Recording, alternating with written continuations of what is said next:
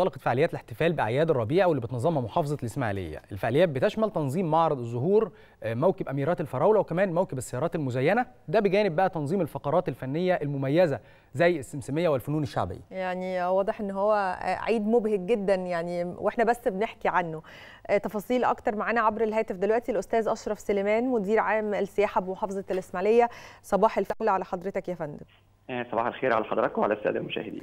يعني احتفالات عيد الربيع عندكم واضح إن هي حاجة تانية. طبعا. مبهجة جدا بس بالكلام عنها. بالنسبة لنا يعني ده موروث شعبي وأهل إسماعيلية متعودين عليه جدا. يعني م. يعني إسماعيلية يمكن معروفة في مصر كلها بالخضرة والنباتات والزهور.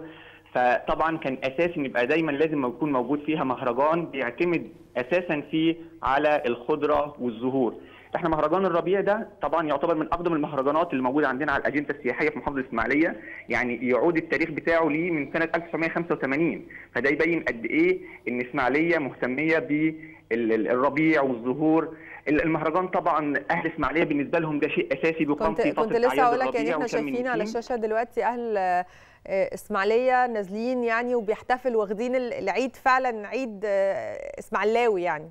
دي حقيقة يا فندم. يعني يمكن حضراتكم لو بتعرضوا الصور أو كده كان في توافد جماهيري أكثر من المتوقعينه يعني بصراحة وده اللي كان بيحلي المهرجان وبيضفي عليه نوع من البهجة اللي هو التواجد الجماهيري لأهل إسماعيلية ومش أهل إسماعيلية. بصراحة إحنا جالنا وفود برضه ورحلات خارجية من المحافظات القريبة لأن بيحبوا يحضروا النوعية دي من المهرجانات. المهرجانات هو أقيم امبارح في الساعة الخامسة عصرا طبعا في أحد أهم شوارع إسماعيلية شارع محمد علي. الفعاليات كلها كانت بتضم هتلاقي يطفو عليها جانب الزهور والنباتات. يعني زي ما حضرتك ذكرتي عندنا كان مقام عندنا في معرض الزهور ده هيقام على مدار ثلاث أيام. فيها تشكيلة مختلفة من النباتات والزهور المتنوعة اللي يقدر أهل إسماعيلية يقدروا يشوفوها بأسعار رمزية متاحة للجميع. في عندنا موكب الديفيليه الأساسي اللي هو خاص بالعربيات المزينة بتصميمات مختلفة برضه بالورود والزهور بأشكال مختلفة. دي بتبقى مسابقة متعودين عليها في اسماعيليه خلال فعاليات المهرجان. بتبقى الجهات الحكومية والشركات الخاصة بيتباروا في التصميمات المختلفة للعربيات الخاصة بيهم بأشكال مزينة لاختيار العربيات الفائزة. والفعالية الثالثة اللي هي الأساسية المحببة لأهل إسماعيلية ويمكن هنعرض مع حضراتكم طبعا زي ما حضراتكم ممكن تعرضوا صور الأميرات اللي هو موكب أميرات الفراولة. كان معانا طبعا اختيار أكثر من 50 فتاة من فتيات إسماعيلية الصغار شاركوا معانا في المهرجان. دي ده موروث شعبي موجود عندنا في إسماعيلية على طول. طبعا كان شارك معانا عديد من الفتيات بس طبعا كنا مختصين بعدد معين هو اللي بيشارك معانا. الفعالية طبعا بتبقى مصاحبة طبعا العديد من الفقرات الفنية المختصة بإسماعيلية وإقليم القناة اللي هي طبعا الفنون الشعبية والسمسميه فقرات فنية مختلفة. مهرجان الربيع بالنسبة لنا ده أحد المهرجانات اللي هي اوريدي عندنا عدة مهرجانات موجودة في إسماعيلية على الأجندة السياحية لأن بصراحة إحنا إسماعيلية في الفترة الأخيرة بدأت تتحط إنها فعلا محافظة سياحية من الطراز الأول خصوصا في سياحة المهرجانات وده لقينا تأثيرها فعلا على الحركة السياحية بصفة إن مسؤول عن هيئة تنشيط السياحة في الاسماعيليه فعلا لقينا سياحة المهرجانات بدأت تجتذب فعلا العديد من الزائرين والوفود في المهرجانات المختلفة. يعني إسماعيلية يمكن معروفة فيها برضو مهرجان الفنون الشعبية مهرجان المانجو مهرجان الأفلام التسجيلية صحيح. بجانب طبعا مهرجان الربيع وأميرات الفراولة فالمهرجانات دي فعلا بتضفي بهجة وسرور وفي نفس الوقت بتزيد الحركة السياحية داخل محافظة الإسماعيلية. طب خلينا ناخد المصطلح اللي قالته بسنت يعني عيد إسماعيلاوي دي عجباني قوي عيد إسماعيلاوي دي لأن هو فعلا عيد خاص بيكم لكن خليني برضو أعرف منك أكتر هل في ناس بتيجي من المحافظات المجاورة؟